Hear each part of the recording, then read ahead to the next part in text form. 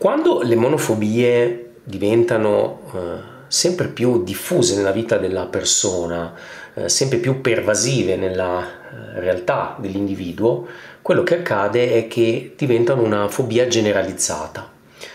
La paura della paura che scatena il panico, la persona vive eh, le situazioni sempre più come minacciose, sente proprio una sensazione costante di ansia che può poi eh, diventare panico e quindi trasformarsi in una sintomatologia più grave come ehm, sensazione di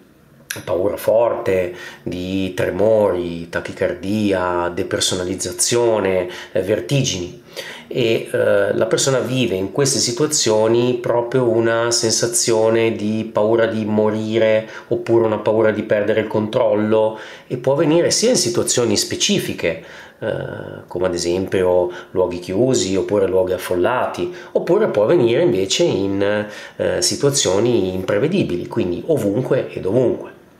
Attraverso la terapia breve strategica quello che eh, si va a fare è intervenire sul eh, blocco che la persona vive riducendo la sensazione di eh,